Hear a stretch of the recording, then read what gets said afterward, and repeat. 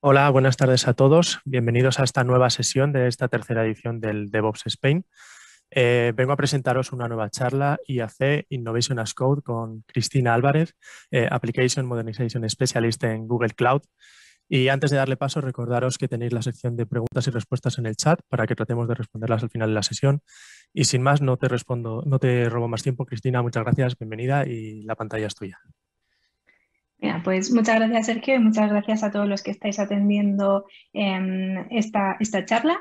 Eh, yo voy a estar con vosotros en, ah, para esta sesión de IAC, en la que he querido hacer pues, un pequeño juego de palabras y presentarla como innovación como código, desde el punto de vista de la infraestructura, configuración y políticas como código y desde el punto de vista de Google, porque si de algo sabe Google es precisamente pues, de innovación y de aplicaciones.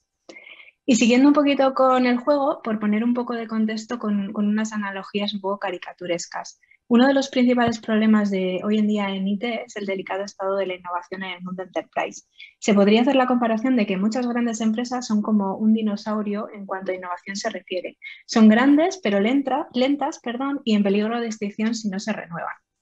Cosa que si comparamos por el otro lado con el mundo consumer, que también es un mundo eh, bien conocido por Google, es algo completamente diferente. En este mundo eh, sí que ha estado eh, dirigido por la innovación en los últimos años. A mí como consumidora, imagino que, como a muchos de vosotros también, la tecnología nos ha cambiado por la forma de relacionarnos, de comprar, de viajar, de vivir.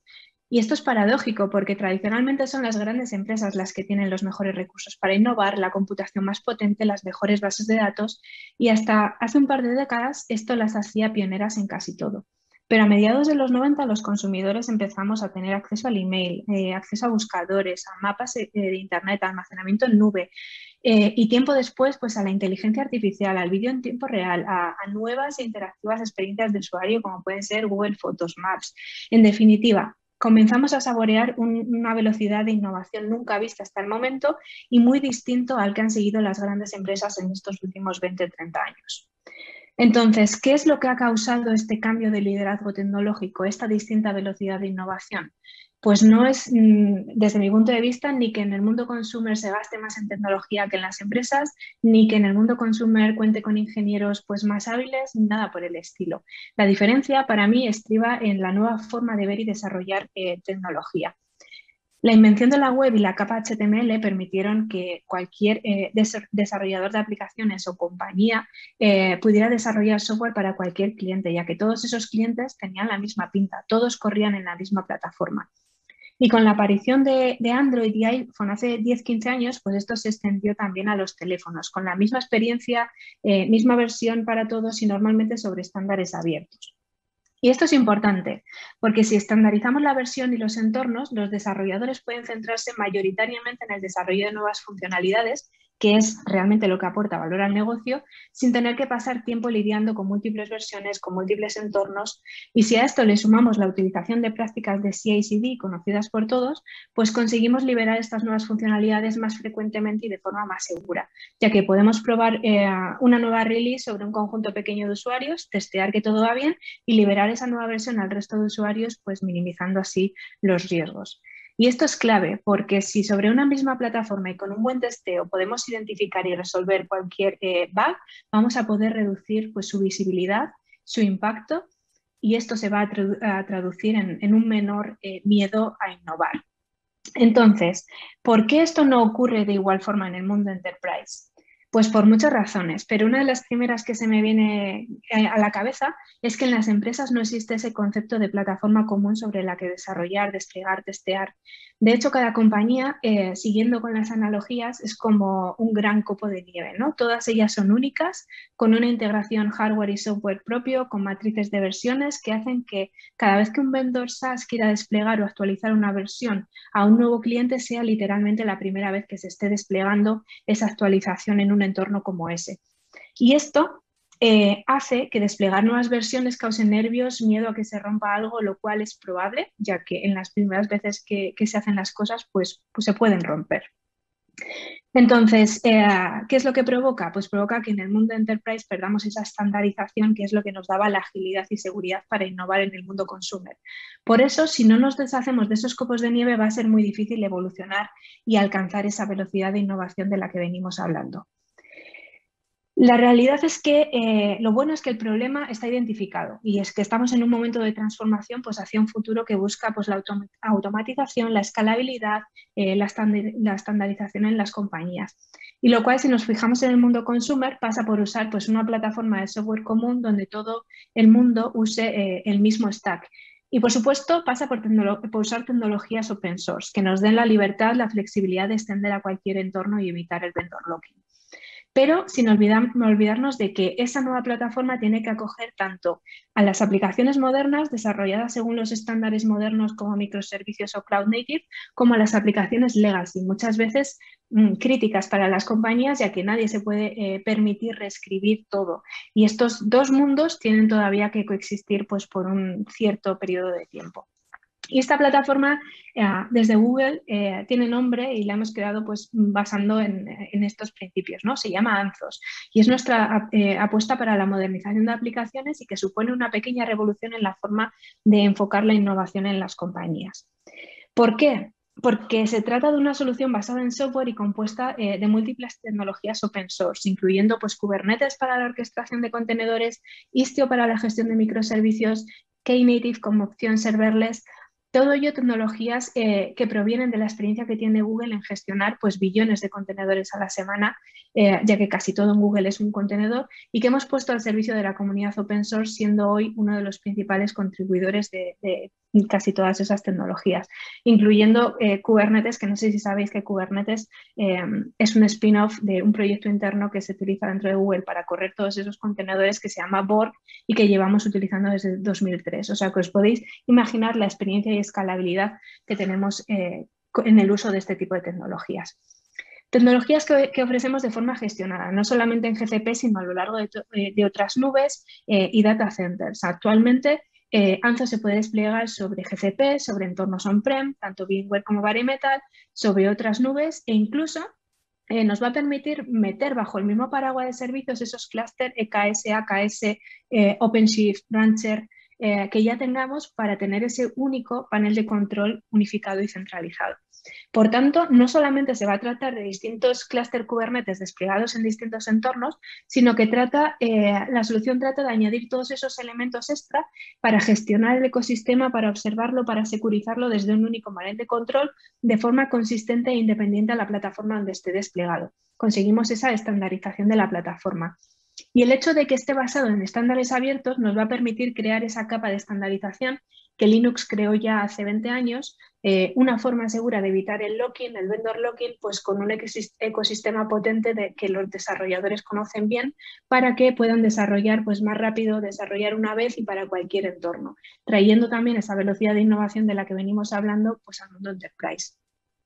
Y por otro lado, ese matiz gestionado pues resuelve a los equipos de operaciones, seguridad, la complejidad añadida de tener múltiples entornos, el cómo los opero, cómo los actualizo, cómo puedo aplicar políticas comunes eh, a todos los entornos, cómo gestiono el despliegue de pipelines de forma consistente. Pues eh, para ello, pues eh, lo que se trata es de ofrecer herramientas para tener una, una, gobernanza y un compliance centralizado, asegurando la consistencia entre los distintos entornos, la auditabilidad, etcétera, etcétera, como iremos viendo. Me gusta hacer em, la comparación o la analogía de que si desarrollando en Kubernetes vamos a conseguir que todas nuestras aplicaciones sean portables y que ese código y esfuerzo de desarrollo sea reutilizable, sea consistente, el despliegue en Anzos lo que nos va a permitir eh, es unificar la gestión de esos clústeres Kubernetes a lo largo de los distintos entornos. Nos va a permitir que todo lo demás sea portable, tanto la configuración de la aplicación como las políticas de seguridad, la forma de monitorizar, generar alertas, los procesos de deployment, de rollback. La idea es conseguir una experiencia cloud unificada a lo largo de todos los entornos, extendiendo y estandarizando las prácticas de DevOps más allá del puro desarrollo de la aplicación, extendiéndolas también a la infraestructura, a la configuración, a la aplicación de políticas, de forma que se convierta en una solución única, estándar, tanto para desarrolladores como para operadores como para equipos de seguridad. Y sin entrar demasiado en detalle en el resto de piezas que componen la solución, nos vamos a centrar en esta parte de la izquierda que es Anthos Config Management, que no es más que un punto centralizado para la gestión de configuración y políticas de seguridad a lo largo de todos los clústeres Kubernetes, como hemos dicho, ya sean GKE o puramente Kubernetes, con herramientas para gestionar eh, pues, configuración y políticas como código de forma unificada y centralizada incluso estandarizando a la hora de gestionar la infraestructura como código. Entonces, eh, Config Management nos va a permitir gestionar, eh, por tanto, el ciclo de vida de la infraestructura y la plataforma de la misma forma que gestionamos el código, con un modelo GitOps eh, bastante popular hoy en día y herramientas bien conocidas por todos como repositorios Git, pipelines de CI/CD, que nos van a permitir tener una gestión y gobernanza tanto para mis clusters en GTP como para mis clusters on-prem como para mis clusters en otras nubes u otros entornos. Y si os acordáis del símil con los copos de nieve, eh, todos distintos, con este tipo de estrategias estamos elevando el nivel de estandarización y estamos convirtiendo a la infraestructura del sistema operativo en algo un poco más que, commodity. ¿no? Entonces, Anthos Config Management se compone principalmente de, tres piezas. Config Sync para gestión eh, de configuración eh, a escala, Policy Controller para configuración de seguridad y políticas a escala también y Config Connector para gestión de recursos GCP desde Kubernetes siguiendo el Kubernetes Resource eh, Model. Entonces, minutos, Cristina. Gracias, Sergio. Entonces, eh, ¿por qué una herramienta em, que nos ayude con la configuración? Os preguntaréis si en Kubernetes ya está todo bastante estandarizado. Pues porque si bien en muchos despliegues en producción vemos operaciones imperativas con kubectl u otros mecanismos, esto va un poco en contra de los principios de Kubernetes, donde todo es declarativo. Y normalmente cuando queremos aplicar configuraciones como cuotas o limitar los permisos por pods o los permisos eh, por equipo en un determinado clúster o en varios, la mayoría de estas eh, tareas se hacen clúster a clúster o los clientes construyen herramientas propias para gestionar un conjunto de clústeres pero no hay nada en el entorno Kubernetes que automatice este despliegue de configuración de forma consistente y lo estandarice para evitar esas inconsistencias a lo largo de los distintos entornos. Así que para transformarlo en algo declarativo y consistente, introducimos config sync, que no es más que un repositorio central tipo Git, eh, donde almacenamos el estado deseado eh, de la configuración de todos nuestros clústeres, que en Kubernetes esa configuración no deja de ser objetos como namespaces, cuotas, etcétera, forzando que todos nuestros entornos sincronicen con él. ¿Cómo está implementado? Pues se trata de un controller que corre en cada uno de nuestros clústeres Kubernetes en forma de pod y que está sincronizado con ese repo central, asegurando que el estado del clúster coincide con el estado de, los objetos definidos en ese repo y donde tenemos la flexibilidad de agrupar configuraciones en un namespace de forma que los objetos de ese namespace las hereden. Esto puede ser una forma fácil de establecer permisos de, de donde también podemos utilizar selectors para que la configuración aplique solo a determinados clusters y donde incluso podemos configurar los distintos em, repos eh, para cada una, podemos configurar distintos repos para cada una de mis aplicaciones, de forma que respetemos el principio de proporcionar los mínimos privilegios, de que cada grupo de operadores tenga solo acceso, al repo correspondiente. De esta forma conseguimos pues, multicluster, multitenant, eh, multientorno. Y todo ello tratando la configuración como código, con los mismos procesos que venimos utilizando para el CI/CD de la aplicación y que son familiares para todos, donde los equipos pueden crear un branch del deployment y comitir cambios al repo principal, donde es muy fácil hacer un rollback solamente revirtiendo un commit y donde cada acción, eh, cada cambio es auditable y es versionable. Y esto hace que, pues, que el miedo a realizar cambios se vaya desvaneciendo, haciendo que la configuración como código pues, promueva en cierta medida también la innovación. Y mucho de esto em, aplica también a la gestión de políticas a escala y voy a hablar del segundo componente. Las políticas, eh, al fin y al cabo, no son más que una definición de las reglas a aplicar en nuestros entornos, pero también es importante definir cómo hacemos el enforcement de esas reglas eh, a lo largo de, los distintos clusters. Y todo es relativamente sencillo cuando solamente tenemos uno. Pero eh, se empieza a complicar cuando tenemos más diversidad. No vale tener una forma de aplicar políticas en mi entorno on-prem, otra en GCP, otra en AWS, porque eso eh, lleva a descuidos y muchas veces pues, a brechas de seguridad. Cuando hablamos de políticas nos referimos a cosas como forzar mutual TLS para que todos los clientes o servicios de un namespace eh, o cluster hablen de forma segura o forzar que no se pueda desplegar ningún recurso sin etiqueta, de forma que yo pueda utilizar esas etiquetas para hacer eh, chargeback o para, para cargar eh, eso a los distintos equipos o que no se pueda desplegar ningún contenedor con, con permisos de root porque así lo tengo definido en mi política. ¿no? Y Policy Controller nos va a ayudar precisamente en eso, tanto en la definición de políticas como en el enforcement de las mismas. Eh, está basado también en un proyecto open source llamado Open Policy Agent eh, Gatekeeper, y las políticas son almacenadas eh, en un repo central, están escritas en Rego y están parametrizadas a través de templates, de forma que pueden ser aplicadas pues, a, objetos Kubernetes específicos como puede ser un, un namespace.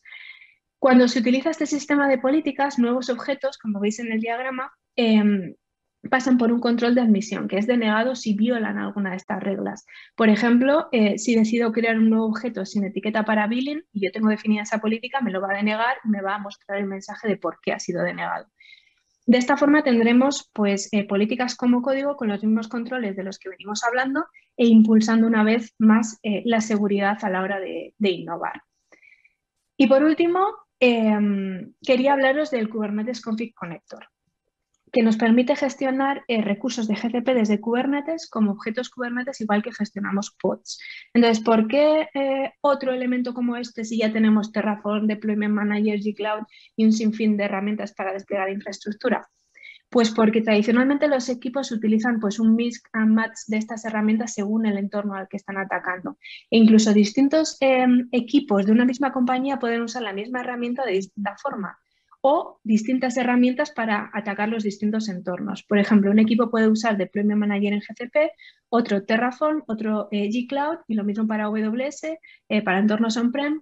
Al fin y al cabo, son distintas formas de hacer las mismas cosas que provocan fragmentación en la gestión y un importante esfuerzo de aprendizaje de los equipos que muchas veces tienen que aprender, tienen que controlar eh, varias de estas herramientas. Así que orquestar algo a través de este ecosistema de herramientas y entornos pues se convierte en algo complicado. Lo que Config Connector proporciona o trata de solucionar eh, es un plugin, una interfaz para operar eh, los componentes de todos estos entornos según el Kubernetes Resource Model. Es decir, una forma declarativa con YAML files eh, que se aplican a un clúster como, como cualquier otro recurso. Y es el propio plugin el que traduce esa definición de recursos de la plataforma a través de las APIs de la misma, pero totalmente transparente para los usuarios Kubernetes.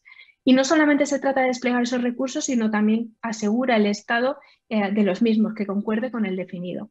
Por ejemplo, usando Config Connector podemos crear una base de datos en GCP tan solo con un config.yaml y no necesitamos interaccionar con GCP ni preocuparnos por mantener la base de datos arriba y realmente nos da igual cómo se hacen esas cosas en GCP por detrás. Nosotros solo interaccionamos perdón, con el modelo Kubernetes. Al final conseguimos consistencia, tanto en la forma de gestionar esos recursos en GCP como en la forma de interaccionar con ellos. Y donde la definición de un objeto en GCP, como puede ser un storage packet, tiene esta pinta, que es un YAML similar al que utilizamos para un objeto Kubernetes, lógicamente, pues como veis arriba, con una versión API y unas anotaciones particulares a, a este resource model.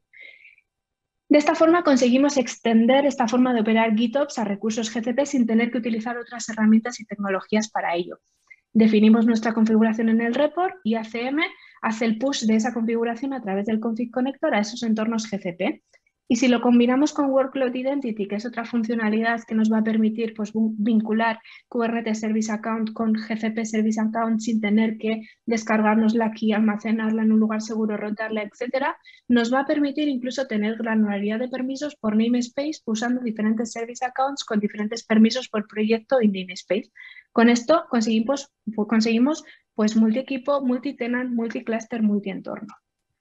Y llevamos un buen rato hablando de cosas como código, que lógicamente vienen regidas pues, por un eh, pipeline, por prácticas de CI/CD, de las que Google ofrece todas las piezas en caso de que se quieran usar sus servicios gestionados, pero da total libertad para que si se quieren usar otros como Jenkins o, GitLab u otros que se vengan utilizando en la compañía, pues se pueda seguir haciendo sin tener o sin tener, sin obligar a, reaprender nuevas herramientas para hacer lo mismo y eh, para que las compañías puedan centrar en el esfuerzo en, lo que realmente aporte valor a la misma. Y por concluir, en mi opinión, eh, en este momento de transformación en el que vivimos, la decisión no es sobre qué cloud elijo, como mucha gente piensa. Nuestra estrategia es distinta y dejarme explicaros por qué. En los 90, con la nueva era de, PCs, estaciones de trabajo y servidores, pues las empresas agonizaban en, la elección de un vendor, ¿no? que si Sun, Compaq, HP u otros. Era una decisión importante porque eh, no solamente era el hardware, sino que implicaba también el uso del sistema operativo, del compilador, de la base de datos de, ese vendedor. En definitiva, iban a estar eh, atados a esa tecnología pues, por unos cuantos años. Pero una década después, la gente se dio cuenta de que solo dos opciones importaban. ya no era acerca de la marca de servidores, la, decisión era acerca del sistema operativo, Linux o Windows. Y esa decisión se ha quedado pues, eh, por dos décadas o, un poquito más, en las que el sistema operativo pues, Linux, la versión sobre todo open source, se ha convertido en un estándar potente, cada día más potente en el, core del, del IT empresarial. Y Anthos lo que ofrece es esa misma respuesta open source para nubes y data centers, para entornos híbridos o multicloud multiplataforma económico, eh, innovativo, eh, abierto, que proporciona tecnologías modernas para el desarrollo de aplicaciones a la vez que un baseline para aquellas más legacy facilitando su modernización. Y que proporciona también portabilidad sin degradar la experiencia cloud, ya que trata de estandarizar todo aquello que no aporta valor al negocio. Como hemos visto, utilizando herramientas conocidas de IAC, proporcionando soluciones para operar configuración como código y políticas como código y basado en herramientas conocidas eh, según el modelo GitOps, para que las configuraciones, forma de exponer servicios, forma de monitorizar sea la misma en todas partes, de forma que si tenemos que aprender algo nuevo sea porque es un nuevo servicio que queremos usar, no porque tengamos que aprender de nuevo cómo hacer tareas rutinarias, ya que Anthos nos proporciona pues esa forma estándar abierta de desarrollar, operar, securizar aplicaciones en cualquier entorno para que vosotros como compañía os tendréis, os tendréis pues únicamente en, eso, ¿no? en innovar. En definitiva, no más locking, eh, no más dinosaurios en peligro de extinción, abriendo el mundo a cambios, no más eh, copos de nieve únicos con una plataforma común y no más reticencias a innovar. Y ojalá que en, unos años podamos hablar pues, del vertiginoso ritmo de la innovación enterprise en esta década. Em, sky is the limit y ni que decir, eh, decir tiene que, nos encantaría acompañaros en, esta, este viaje hacia esa nueva era de innovación junto con, con AT Sistemas. Y le paso la palabra a Sergio para el QA. Muchas gracias a todos. Muchas gracias, Cristina. Nos han dejado por aquí alguna preguntilla, así que si te parece te la voy haciendo. Venga. Eh, nos preguntan sobre el funcionamiento asíncrono de la, plataforma, si la configuración y la aplicación están pensadas también para plataformas desconectadas de la red. Em, estamos en un momento en el que eh, actualmente no está pensado para plataformas desconectadas de la red, pero es algo que se va a anunciar eh, muy en breve. Entonces, me atrevería a decir que eh, no está pensado hoy, eh, pero en un par de meses volvemos a hablar. Vale, vale, esperaremos. Eh, la siguiente pregunta que nos hacen es sobre el valor diferenciador de vuestra solución. ¿Cómo se diferencia esta estrategia híbrida y multicloud de Google respecto a lo que pueden ofrecer otros proveedores de la competencia?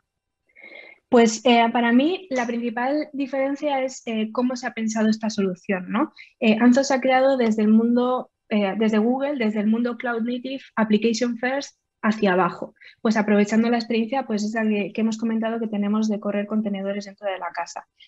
Eh, mientras que otras plataformas se han, eh, se han creado desde el mundo, desde la infra hacia arriba, ¿no? manteniendo pues a lo mejor ciertas dependencias, pues ya sea con el sistema operativo, con la forma de operar la red, etcétera, etcétera. Entonces, ah, la para mí, la ideal, lo ideal no es eso, una comparativa característica a característica, sino que pues elevar la discusión pues, al tipo de estrategia híbrida y multicloud, a la base open source que tiene el ecosistema, em, a las herramientas que ofrece tanto para el mundo cloud native como para el mundo legacy y sobre todo a la potencia de extender esos servicios de nube GCP gestionados diferenciales como pueden ser BigQuery allá donde se requiera. Entonces... Ok, eh, creo que me da tiempo a meter dos más que tenemos. Una es sobre la reutilización. Preguntan si la, configuración es paramétrica, es decir, que si podemos eh, reutilizar esos factors o otras herramientas para reciclarlo a otras configuraciones y que este código sirva pues, para diferentes clusters o diferentes características. Absolutamente, esa es la idea que está detrás de todo esto, que puedas tener portabilidad y que puedas eh, llevar la aplicación o, llevar componentes de tu aplicación. Si hablamos de microservicio, allá donde, allá donde quieras. A lo mejor estás corriendo en tu mundo on-prem eh, sobre esta solución y el día de mañana o en un Black Friday o en un punto quieres eh, beneficiarte de, la escalabilidad de la nube y quieres pues, eh, poder aumentar ese número de servicios para, resolver tus peticiones y puedas directamente, mismo código, mismo todo, puedas directamente llevártelo a Anzo sobre GCP y, beneficiarte de esas, de esas cosas. ¿no? Entonces, la idea es, es, es tener esa portabilidad, absolutamente. Vale. Y pasamos a otra. Nos preguntan si puedes eh, opinar o hablar sobre cuáles serían los competidores de Antos, tanto open source o, privativos, y si crees que otros proveedores públicos de cloud, como puede ser Amazon Services o Azure, eh, tienen propuestas similares o que, pueden estar cerca de, vuestra solución. Claro, pues los principales eh, que vemos en el mercado suelen ser pues, OpenShift, Tanzu, que como comentaba antes, pues em, sí que vemos que arrastran ciertas dependencias, ya sean pues con el sistema operativo ah, o con la forma de, ah, ofrecer eh, networking, ah, porque eso se han creado desde, desde la infra hacia arriba. Entonces ahí es donde tenemos pues un factor diferencial. ¿no? Em, luego, por otro lado, eh, tanto Azure como Amazon también tienen sus propuestas, lo que pasa que no están enfocadas o hasta hace poco no han estado tan enfocadas en el mundo multicloud como, como es nuestra propuesta. ¿no?